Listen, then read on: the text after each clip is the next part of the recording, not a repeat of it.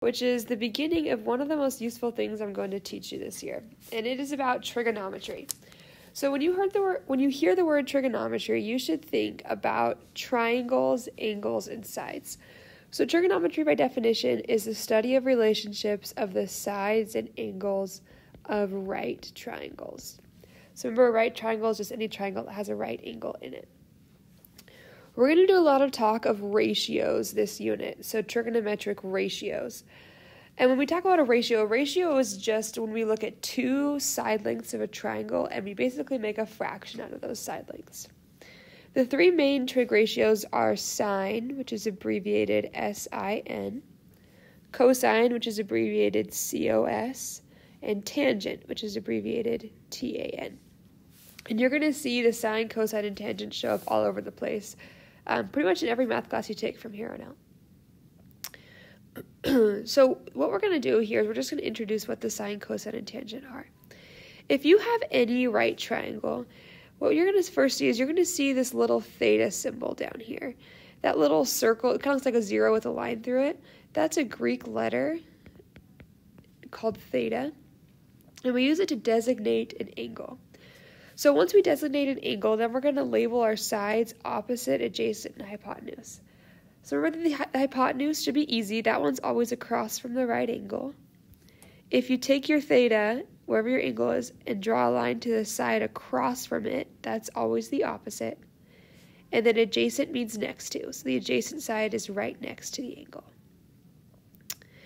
then when you start looking at the sine, cosine, and tangent, we're going to say the sine of theta is equal to the fraction opposite over hypotenuse. The cosine is the adjacent over the hypotenuse.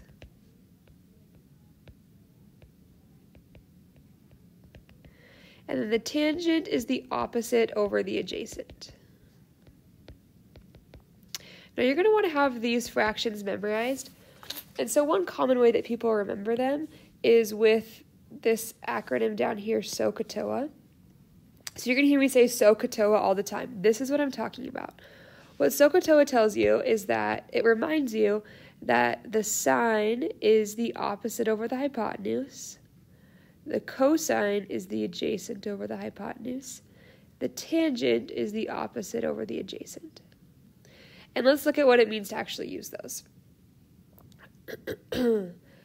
So when you get to a problem where it asks you to find the trig ratios, the first thing you want to do is make sure you have a right triangle, which we do. Then you're going to figure out where is your theta. So in this case, our theta is in the top right corner of the triangle. Then we need to label our sides opposite, adjacent, and hypotenuse. I like to start with the hypotenuse because that's a new that's not a new one. We've known that from before. The hypotenuse is the side that's across from the right angle. Then I'm going to identify the opposite. So the side that's across from the theta is the opposite. And the side that's right next to it is the adjacent. and now I'm going to start identifying the sine, cosine, and tangent. This is where it's important to think about the SOHCAHTOA. So if I want to know the sine, I need to look at the opposite and the hypotenuse. So the opposite side length in this case is 8, and the hypotenuse is 10. So my sine is 8 over 10. Since that's a fraction I can simplify, I'll go ahead and simplify it to 4 over 5. Next one is cosine. So I look back at my kind of cheat sheet up here. The cosine is the adjacent over the hypotenuse. So my adjacent side length is 6. My hypotenuse is 10. I'll simplify that to 3 over 5. And then my tangent is the opposite over the adjacent. So that's 8 over 6, which I can simplify to 4 over 3. So essentially what I'm doing is I'm just creating fractions. You have to create the right fractions though, which is where an understanding of what sine, cosine, and tangent are going to be critical. So SOHCAHTOA, burn that into your brain. All right, so another example. So here I have my theta value. I'm going to go ahead and label the hypotenuse. The side across from the theta is the opposite. And then the adjacent is the 10. if you don't label these right, then you're not going to get any of the rest of the problem right. So let me just review that one more time. You find the right angle, side across from it, that's the hypotenuse. Okay? Then you find your theta value, the side across from it is the opposite. And then your leftover side, that's the adjacent. Okay? so now I'm going to find my fraction. So my sine is the opposite over the hypotenuse. So I have 2 square roots of 11 over 12. Now notice that I have a square root, and that's fine. I can have a square root in my answer. But I can do a little bit of simplifying here. If I just look at the numbers that are outside of the square root, the 2 and the 12, I can simplify that to 1 over 6. That's the same as the square root of 11 over 6. My cosine is the adjacent over the hypotenuse, which I can simplify to 5 over 6. And then the tangent is the opposite side, so 2 square roots of 11, over the adjacent, which is 10. And again, if I'm simplifying a fraction that has a square root, I'm just going to look at the numbers. So this turns into the square root of, oh, that should be the square root of 11. Typo, my bad. Square root of 11 over 5. Okay. Let's go ahead and do example C really fast. So one thing you'll notice as I start to look at this triangle is that I actually only know two of the side lengths of the triangle. But I need to know all three. So we're going to use Pythagorean theorem to find that third side length. So I'm going to do 12 squared plus 5 squared is equal to my c squared. Square the 12, square the 5, add them together and take the square root, and I will get 13. So that's going to be this third side of my triangle. Once I have all my side lengths, then I'm going to think about my theta. And I'm going to label my sides opposite, hypotenuse, adjacent. Okay. And then I'm going to create my fraction. So the sine is always the fraction opposite over hypotenuse. So I take my opposite side length and put it over my hypotenuse side length. Cosine is always the adjacent side length over the hypotenuse length. So 12 over 13. The tangent is always the opposite over the adjacent, so 5 over 12. All right. Okay, on the next page, we're going to do just a couple more examples, and then I'll set you guys loose to practice this on your own. Notice in all three of these examples, we are going to need to find the third missing side length. We only know two of the three sides. So let's do a couple examples of this. So in example D, I'm going to need to do the Pythagorean theorem. Remember that when we do the Pythagorean theorem, you always do your hypotenuse squared is equal to the two shorter sides squared. Okay, you're going to want your calculator for this. Let me get mine out.